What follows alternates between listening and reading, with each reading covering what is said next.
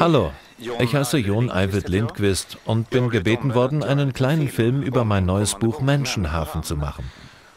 Ich habe mir überlegt, dass wir dazu in meine Schreibstube da oben gehen. Zum Zeitpunkt dieses Films ist das Buch Menschenhafen noch nicht fertig, aber man hat mir freundlicherweise ein Exemplar des Umschlags geschickt, der so aussehen wird.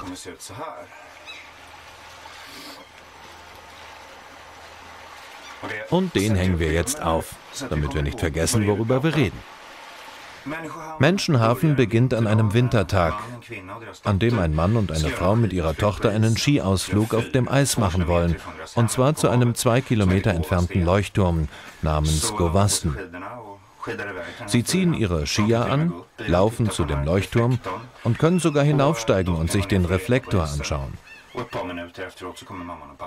Dann geht die Tochter hinunter, um auf dem Eis zu spielen, und kurz darauf kommen die Eltern nach. Als sie unten sind, können sie das Mädchen nicht finden. Der Leuchtturm steht auf einem kleinen Felsen. Der Leuchtturm selbst ist nicht groß. Schneebedeckt erstreckt sich das Eis kilometerweit in alle Richtungen. Das Mädchen trägt einen roten Schneeanzug. Es kann einfach nicht verschwunden sein, aber es ist fort. Zwei Jahre später kehrt der Mann mit Namen Anders auf die Insel zurück. Er ist deprimiert und trinkt, seine Ehe ist nach dem Verschwinden der Tochter in die Brüche gegangen und er zieht wieder in sein früheres Haus. Dort erreicht ihn eine Nachricht von seiner Tochter. Wenn sie denn von seiner Tochter ist.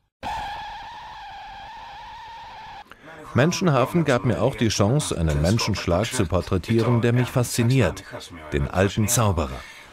Und den Zauberer wollte ich auch mit der Liebesgeschichte des Romans verbinden. Vor ein paar Jahren habe ich diese Postkarte bekommen. Es war für mich eine Herausforderung, eine Liebe zwischen zwei alten Menschen zu schildern, die diesem Foto entspricht. Nun, also hängen wir die Karte auch auf. Der alte Zauberer, er heißt Simon, findet am Anfang des Buches etwas. Er findet ein Insekt und erkennt, dass es ein sogenannter Spiritus ist, dieser gibt ihm erst jetzt, auf seine alten Tage, als er es nicht mehr braucht, die Chance, richtige Magie anzuwenden.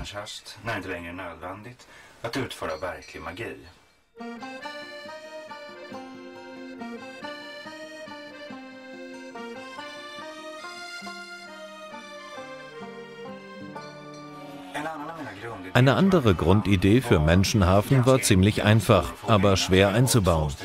Ich wollte gerne zwei Teenager-Gespenster dabei haben, für die dieses Lied von Morrissey sehr wichtig gewesen ist.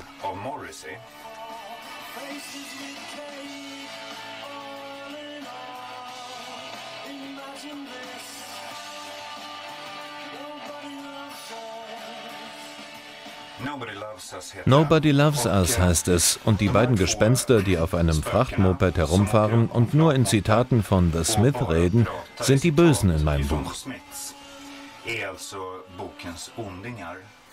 Das war alles, was ich heute erzählen wollte. Ich hoffe, ihr mögt Menschenhafen mindestens halb so viel wie ich. Es ist eine episch breite, lange Erzählung aus den Stockholmer Scheren, die von einem verschwundenen Kind und den Kräften handelt, die es verschwinden ließen.